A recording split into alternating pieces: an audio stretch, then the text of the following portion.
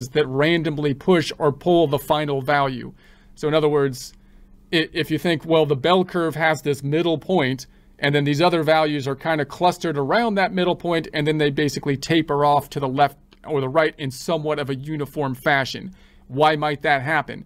Well, any scenario like grades, for example, if you have a bunch of people that are of the same skill, or at least they're in the same grade, they've had the same education to that point, then you would expect that the middle point would be somewhere in, in the middle. Most people would be in around the same area if they've had the same education, but there's going to be then a distribution based on whatever I, IQs, based on study time, based on how they're feeling at the time, and those those nudges are going to nudge away from that center point, which kind of would give you this bell-shaped type of distribution uh, type of scenario. If you think about heights or many different things in nature, you might think that the height of a human being is around whatever the height is, right? 5'10 or whatever. You could say the height of a human being around that. Uh, but obviously, different things are going to nudge that height. What are those things? Well, genetics can, of course, nudge the height higher or lower, and then people's diets and whatnot and their their circumstances throughout life could nudge the heights uh, higher or lower around that middle point, which tends towards possibly like a normal type of distribution. So these influences often average out, making the resulting distribution bell-shaped. So let's take a look at some practical examples of the Gaussian distribution, bell-shaped curve, or normal distribution. So physical traits. So whenever we're thinking about things in nature, oftentimes, and we're trying to say, well, how tall is something? How long is something? Uh, often we think about, of course, human beings, but anything else, you know, animals, plants, and whatnot, you might see similar types of things where you'd say the heights of men and women, for example, differ in means, but both show bell-shaped distributions. In other words, if you looked at men and women, then the men are typically going to be taller on average. That, of course, doesn't mean that there's not going to be some women taller than men. It means that on average, the men are going to be taller than the women. So if you think about a bell-shaped type of distribution, you would think that the spread of the bell shape, the standard deviation, would be somewhat similar, but it would be shifted on the man side a little bit to the right uh, because the mean, the middle point would be a little bit to the right. So you'd have similar kind of curves you would expect, bell-shaped type of curves that would have a similar distribution you would expect in terms of standard deviation, but the men's curve would be a little bit to the right. Uh, and so then we have sports statistics, of course. Now, remember that sports statistics, and we'll take a look at batting averages and compare a couple years as one of our examples. The sports statistics is very closely related to performance statistics at a job because that's what sports are. Sports are us judging the performance of players playing the game being their job.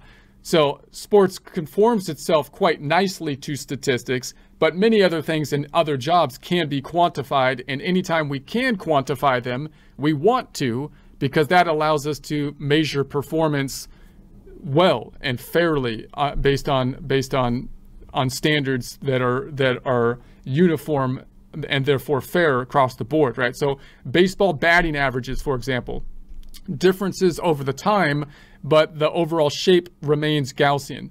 So in other words, if you had batting averages for the current year versus way back to like the 1920s or something like that, you would expect that because you're talking about something similar to like grades, performances, because all of the players in the league should have similar type of skill levels because they're all the best of the best at that particular time, you would expect their performances like grades to be kind of in the middle and then taper off and resulting in somewhat of a bell-shaped type of curve, whether you're talking about the 1920s or the or, or you know somewhere in the 2020 or whatever, right? Uh, so, but you will also might expect that there would be differences in terms of possibly the mean, how the middle point of the distribution, and you can get into questions as to why that would be.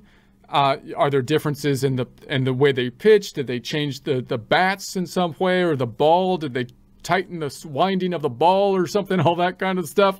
And you would expect that there might be a difference in the spread of the data uh, as well, which again could lead to questions as to why that might be.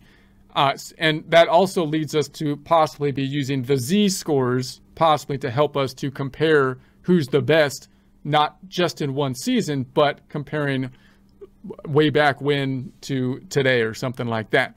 Games of chance, uh, poker hands, distributions of average values of card hands from many games. So clearly, when we look at games of chance, then uh, st statistics and the normal distribution is going to play a vital role uh, in uh, areas there. We have the binomial as a special case. We talked about a binomial distribution in prior presentations, and in certain circumstances, the binomial distribution has a bell, a bell type of shape. So when n, the number of trials is large, binomial distributions approach a normal distribution due to the central lim limit theorem, the CLT. So probabilities and intervals. Now here's the formula up top. We're not going to get into a lot of detail about the formula, because this is a statistics and Excel course, we're not really diving into uh, the math uh, that deeply because the Excel is going to help us to apply the math. And that's kind of the point here. We've been given a gift of some of having Gauss, you know, figure out this uh, curve, which is so very, very useful. And our point, the point of that now isn't oftentimes when we're thinking about application, at least, to be able to plot this thing out or do the math related to it. It's to be able to recognize that you're looking at a data set that might conform to a bell shape or normal distribution. And if it does, then you can use the Excel to help you out to, to create the normal distribution, which has those beautiful symmetrical characteristics, allowing us to